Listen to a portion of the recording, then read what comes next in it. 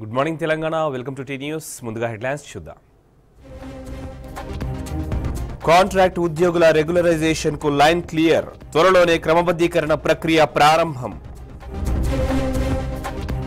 చేనేత మరమగ్గాల కార్మికులపై కేంద్రం వివక్ష. సమస్యలపై మోడీ సర్కార్ను నిలదీస్తామన్న కేటీఆర్. ఎమ్మెల్సీ ఎన్నికల్లో భారీగా పోలింగ్ నమోదు. కరీంనగర్లో తొంభై తొమ్మిది పాయింట్ ఏడు సున్నా శాతం ఓటింగ్. సింగరేణిలో మూడో రోజుకు చేరిన సమ్మె పూర్తిగా నిలిచిపోయిన బొగ్గు ఉత్పత్తి.